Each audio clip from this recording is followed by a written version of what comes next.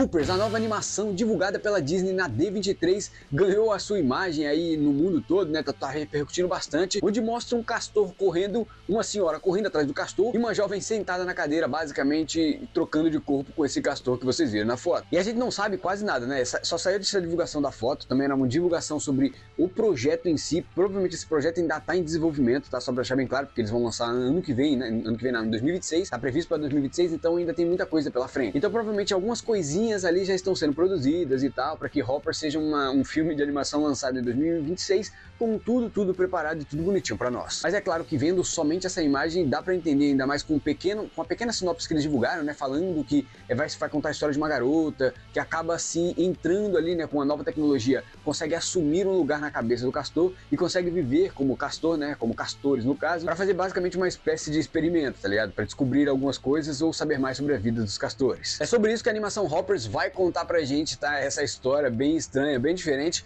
Tem alguma semelhança com outro filme de animação também que foi lançado há muito, muito tempo atrás, e eu vou falar aqui tudo nesse vídeo pra vocês. Então se você é novo nesse canal, deixa o seu like, ajude a gente a seguir aqui se inscrevendo, tá? Porque nós estamos batendo aí quase 18 mil inscritos. Eu quero até o final do ano, quem sabe, bater 20 mil inscritos, quem sabe a gente não bate antes do final do ano também. Então preciso da sua ajuda aí, se inscrevendo e deixando seu like aqui nesse vídeo, beleza? Dito isso, então bora saber um pouquinho mais sobre o que pode acontecer nessa história nova da Disney, nessa né? nova proposta que eles estão entregando pra nós, que vão literalmente entregar completamente pra nós em 2026, chamada Hoppers. Uma coisa muito clara de se entender é que vai estar ligada a experimentos, né? A ciência a experimentos. E quando a gente entende que uma criança, uma, uma adolescente basicamente, vai entrar na cabeça de vários castores para entender a vida dos castores, nós entendemos que esse, esse, nível de ciência já vai estar muito avançado. Então o filme ele vai estar elaborando basicamente essa ideia da ciência, da tecnologia. Ela provavelmente entende muito de tecnologia porque ela também está participando dessa experiência. Ninguém até agora sabe ao certo, né, qual seria esse tipo de experiência que eles teriam com castores, né? Eu não sei qual é a proposta proposta inicial para falarem, beleza, vamos começar a estudar os castores. Eu não sei o que, que vai acontecer, tá ligado? Para eles terem essa ideia. Mas o filme vai partir por isso, né? Essa ideia de querer estudar os castores e através disso tentar identificar basicamente como eles vivem vivendo dentro deles. Ou seja, ela acaba conseguindo entrar na consciência deles. E aí, junto disso, ela vai vivendo literalmente como um castor ali no mundo onde eles estão vivendo, que eu não sei que mundo é, né? Mas a animação promete ser uma coisa bem diferente, tanto na questão gráfica também, e é o que a gente vai falar agora.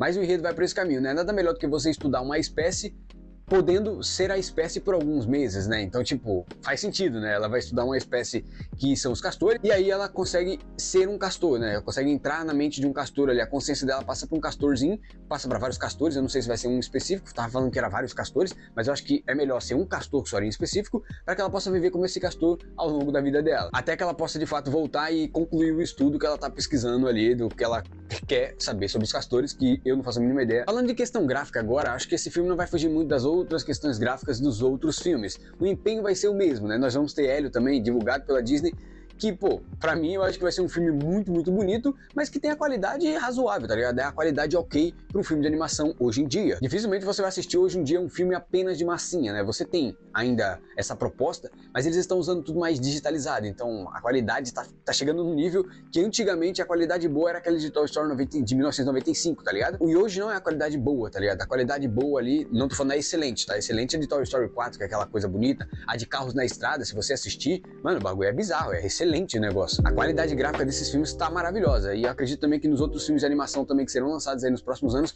estarão no mesmo nível, tá ligado? Então hoje em dia não existe mais aquela qualidade de 1995 com o filme de Toy Story, né? Assim como nós também passamos, né, da, da Branca de Neve, dessa Branca de Neve que vocês estão vendo aí desse formato de animação, para esse formato de animação de Toy Story e agora vocês estão vendo um formato de animação totalmente diferente aí com esse filme da Hopper, correto? E aí você consegue perceber que a animação é bem diferente, né? Então hoje em dia eles vão partir desse nível, do bom pro excelente, tá ligado? Então pode esperar que nesse estilo de animação, todas as animações geralmente vão fazer nessa mesma pegada, tá ligado? E aí isso acaba indicando para nós que a qualidade do filme ela vai ser muito boa. Não tem como a gente falar que não vai ser, porque tá caminhando para isso, tá ligado? Essa imagem que vocês estão vendo é uma imagem de esboços, tá? Só para deixar bem claro. Não é que a animação toda vai ser nesse estilo que vocês estão vendo aí ela é basicamente um esboço do que vai acontecer no filme. Então, é só um posterzinho, sabe? Só uma, uma pequena cena do caos gigantesco que isso vai ser. Mas o fato é que o filme Hopper vai por esse caminho com toda certeza.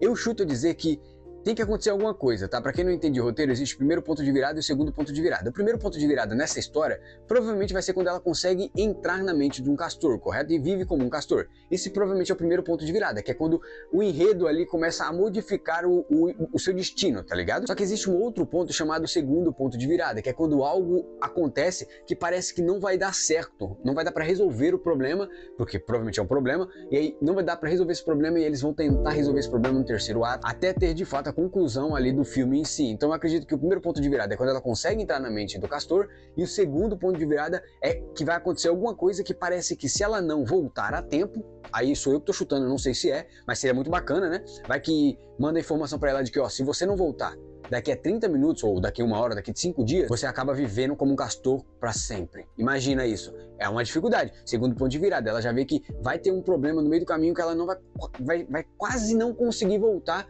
para sua fase real, né, de ser humano. E aí para vocês entenderem é basicamente isso. Primeiro ponto de virada, quando ela entra na cabeça do castor. Segundo ponto de virada é quando acontece alguma coisa que pode impedir que ela volte pro seu corpo humano. Então acho que pode ser isso. Eu acredito que vai acontecer isso, até porque deixa o enredo mais interessante, né, gente? E aí eu quero saber a sua opinião sobre o que, é que você acha que pode acontecer, né? Qual dessas ideias você acha que pode acontecer? Ela acaba não conseguindo voltar porque ela perde tempo e não consegue voltar para sua fase humana, ou ela decide de fato ficar ali convivendo com os castores porque ela descobriu a vida sofrida dos castores? Deixa aqui nos comentários a sua opinião, beleza? Sobre o filme Hoppers. Eu quero saber. Deixa seu like e não esqueça de se inscrever aqui no canal, tá? Tchau!